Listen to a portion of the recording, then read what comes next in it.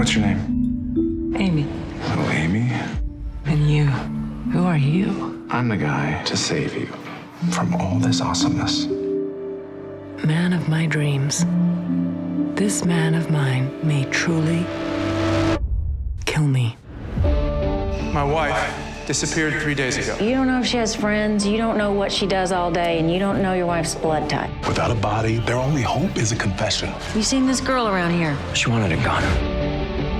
I know you. I saw you at the volunteer center. I wanted to help. Amy's the kind of girl who attracts admirers. Did you do it? Did you do it? Whatever they found, I think it's safe to assume that it's very bad. This just got very exciting. You bumped up Amy's life insurance to 1.2 million. Because she told me to. Where's your wife, Nick? You need to tell me. You asking me if I killed my wife?